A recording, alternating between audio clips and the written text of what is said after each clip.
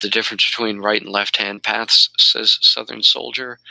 Uh, the right hand path is more puritanical and more uh, cleanliness associated, like trying to cleanse one's aura of uh, the cloudy, uh, emotional uh, uh, fog of confusion that seems to be the case in material reality, typically, and um,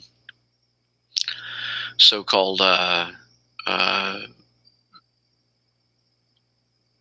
keeping uh, clean the body and uh, purging the unclean thoughts and spirits and so forth.